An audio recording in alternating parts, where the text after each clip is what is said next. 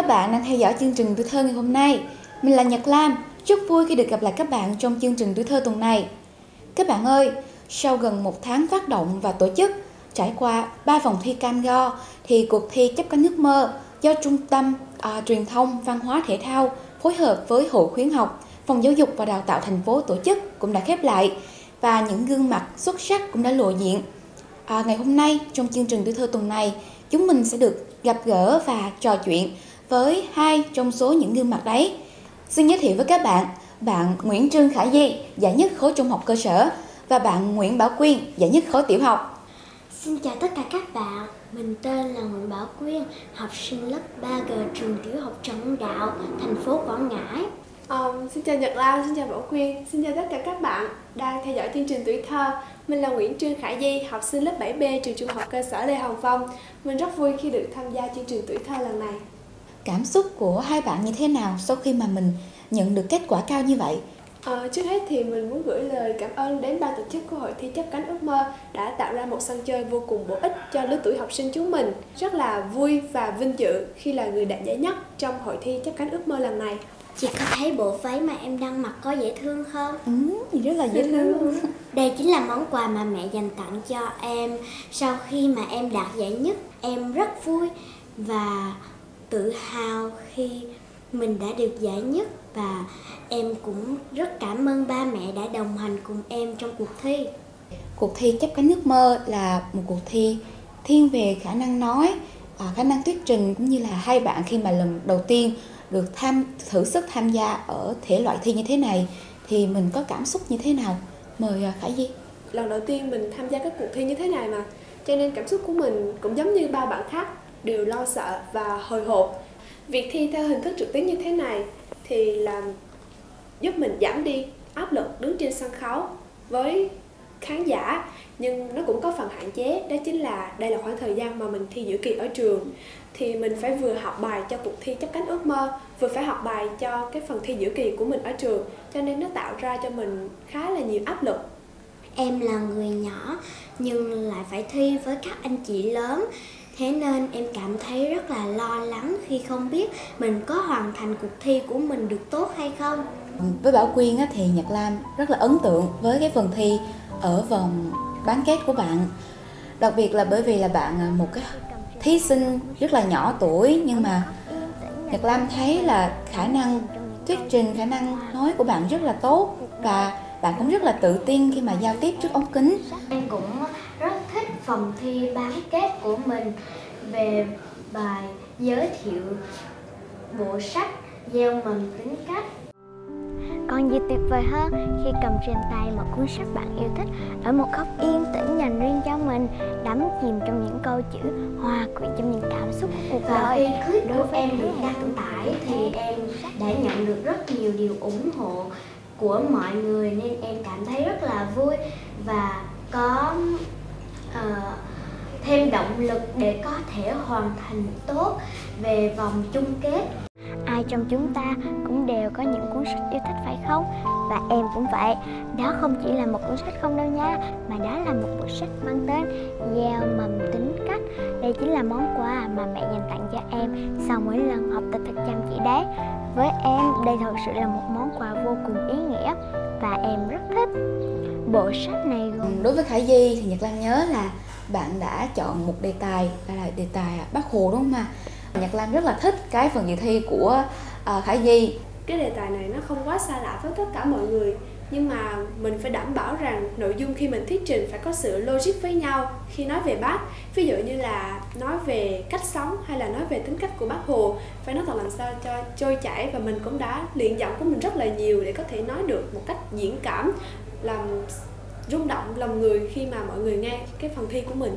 Vậy thì à, hai bạn à, Bảo Quyên và Khải Di này, thông qua cuộc thi à, chấp cánh ước mơ lần này thì hai bạn có rút ra được bài học gì cũng như là những cái kinh nghiệm gì cho bản thân của mình không là mình cần phải kiên trì để có thể đạt được mục đích mà mình mong muốn và cần phải cố gắng luyện tập để mình có thể thành công được thì mình đã học hỏi được rất là nhiều kiến thức bổ ích về việc tìm hiểu các chủ đề, đề tài khác nhau. Bên cạnh đó thì giúp mình tự tin hơn khi thuyết trình trước đám đông và mình cũng có thể học hỏi được rất là nhiều kỹ năng diễn đạt từ những bạn tham gia cùng hội thi.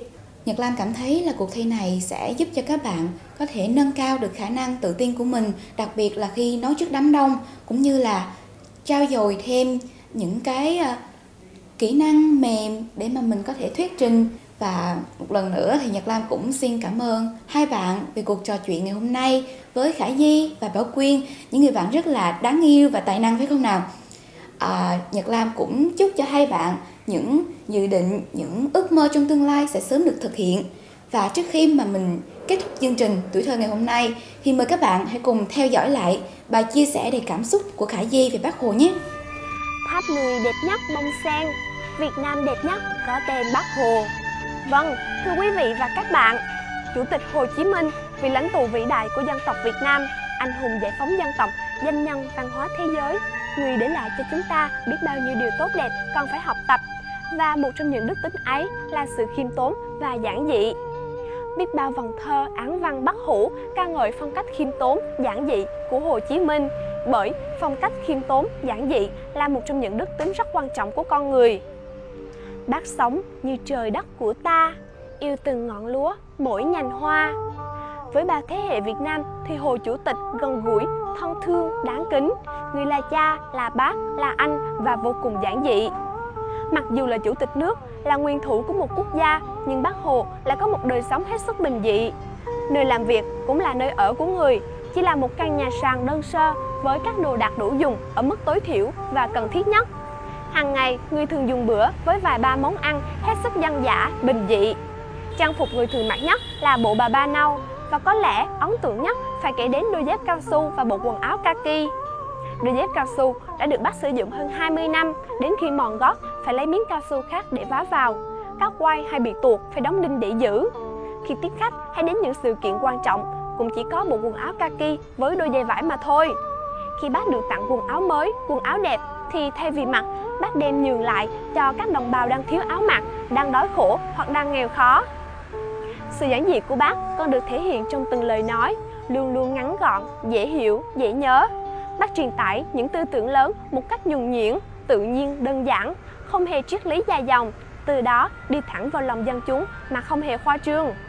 Ngay cả khi đứng trên lễ đài đọc bản tuyên ngôn độc lập lịch sử, trước hàng nghìn dân chúng, bác cũng chỉ dừng lại để hỏi đúng một câu chân tình.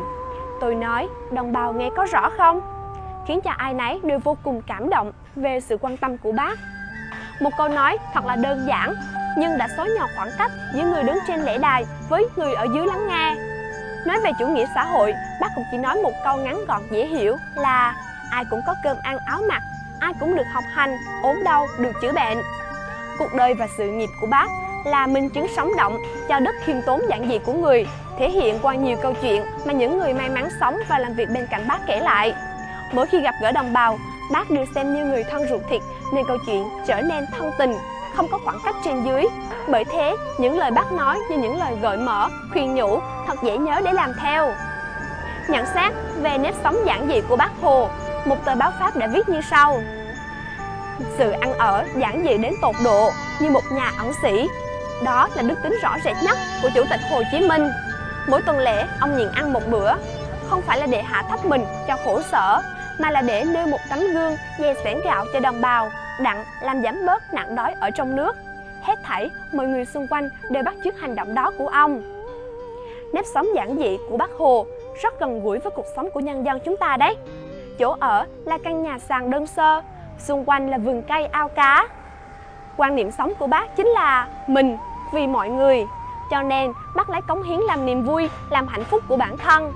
Kính phục và yêu mến bác, nhà thơ Tố Hữu đã ca ngợi. Bác sống như trời đất của ta, yêu từng ngọn lúa, mỗi nhành hoa. Tự do cho mỗi đời nô lệ, sữa để em thơ, lụa tặng già, như đỉnh non cao tự dấu hình, trong rừng xanh lá ghét hư vinh. Bác mong con cháu mau khôn lớn, tiếp bước cha anh tiến kịp mình.